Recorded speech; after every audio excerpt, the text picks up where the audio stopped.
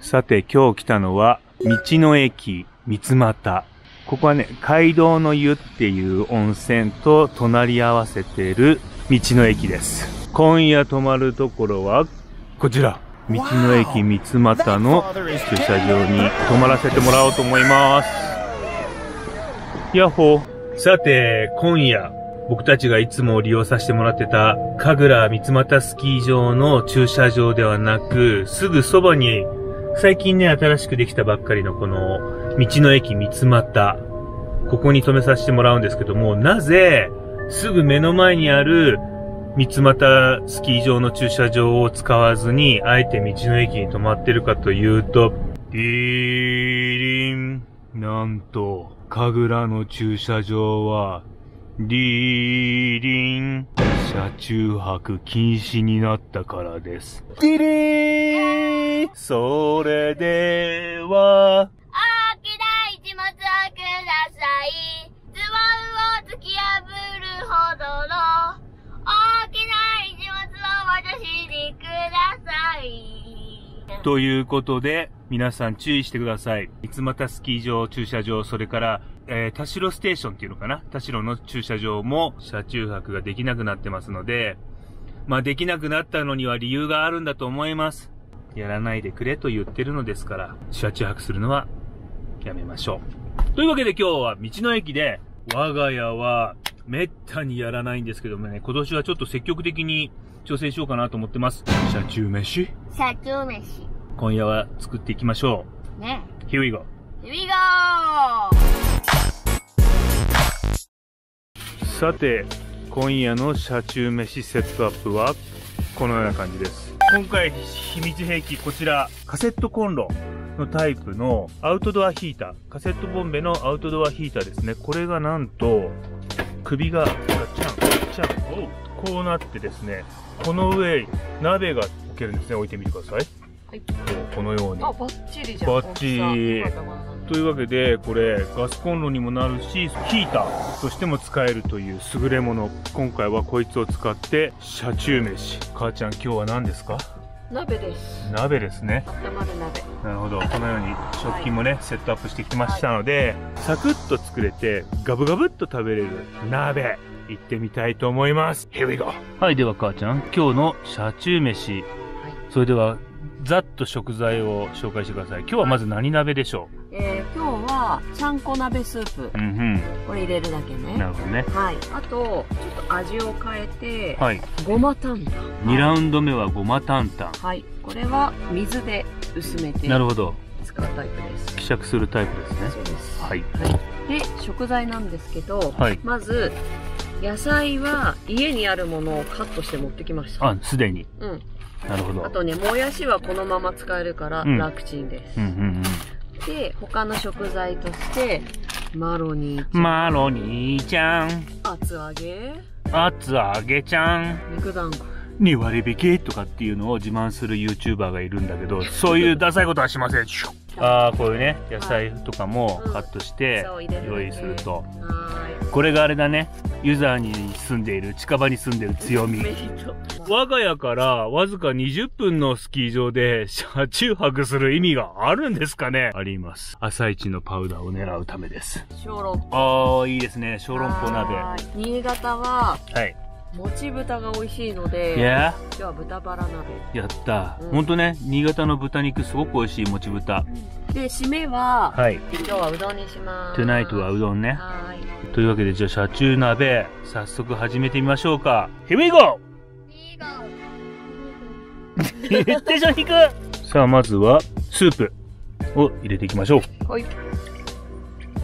もういろんなバーンライファーの人たちが車中飯で心がけてるのは、手間をかけず、ゴミを出さずに、手軽に車中飯をやるかってところだと思いますけども、この鍋はね、一番楽ちんかもしれないね。あとは、冬の車中泊で、体を温められる。なるほど。うん。芯から。バーナーは、これがね、安全スイッチになってですね。なので、安全スイッチを引きながら点火します。完璧です。はい、火つきましたね。はい。必ず車内で火を使うときは、自己責任であることと、環境を取ることを忘れないで気をつけましょう。じゃがじゃん。はい。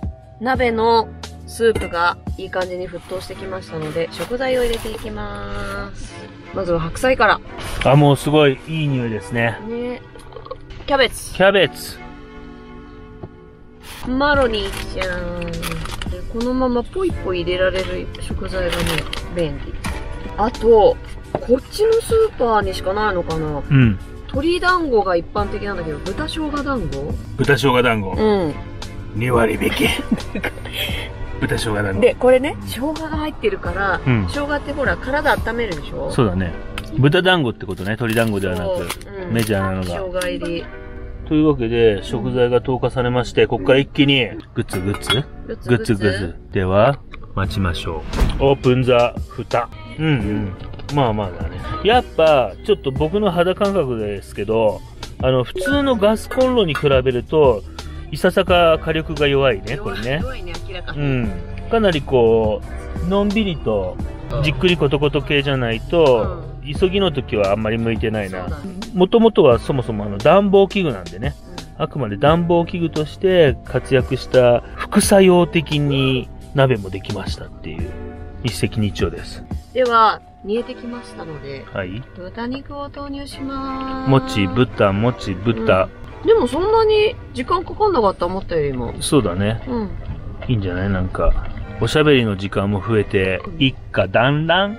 お腹すいた、おい。待っててなもうちょっとでできるから。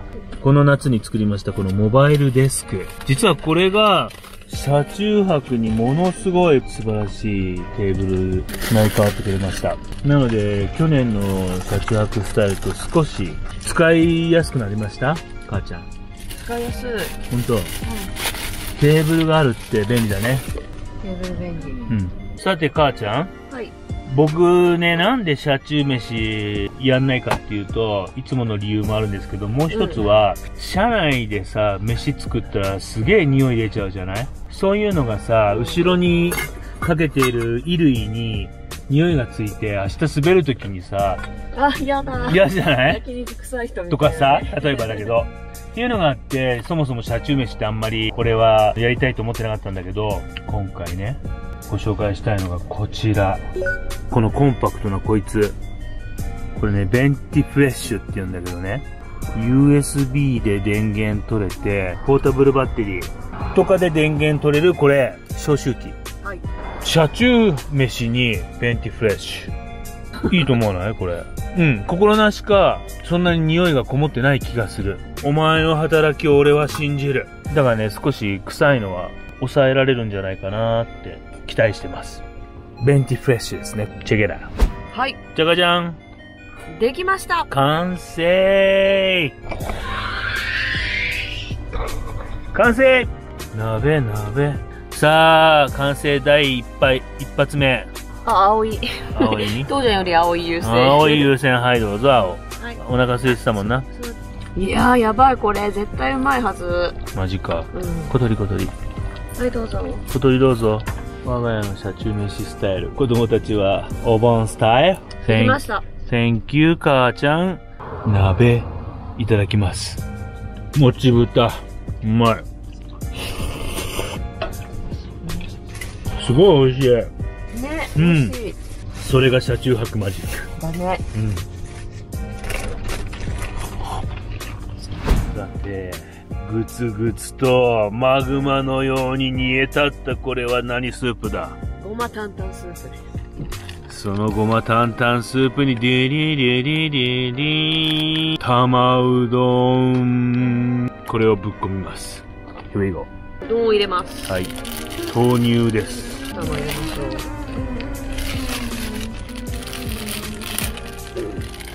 時にうちの妻は大胆な夜があります。今日は肉うどん祭りじゃん。あの余った具材もう全部投下しましょう。それが鍋スタイル。ウェディングウェディングウェディング。うどんウェイティング。さあ、担々鍋、オープンだ、蓋。うーふー。完成。うまそうじゃねえか、母ちゃん。ベンティフレッシュが働いてるから、匂いもさほど気にならないわけがない。臭いわ。担々スープ臭いわ、これ。かなりのおいにだね。完成えー、担々うどん鍋、いただきます。も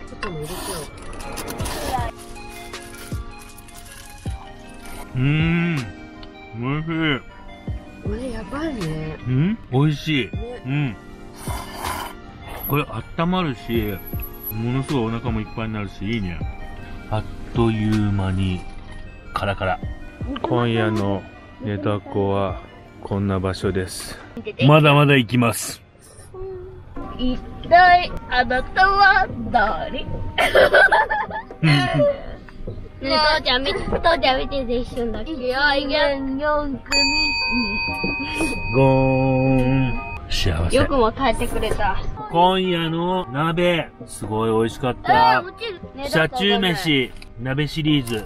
今後いろいろと、いろんな鍋挑戦してみたいと思います。今夜は、醤油ちゃんこ鍋と、ごま担々鍋に、うどんで締めてみました。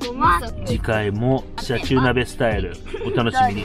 さあ、ご飯を食べた後は、シアターナイト。我が家の車中泊ナイトは、iPad を15インチのモニターのところに、うまいことぶら下げまして、うちのね、限界突破 Wi-Fi。これで Wi-Fi 接続することで、これはね、Amazon プライムの映画を見てます。もちろん今夜もジャッキー・チェーンみんなでジャッキー・チェーン見ながら今夜は過ごしたいと思います。Good night.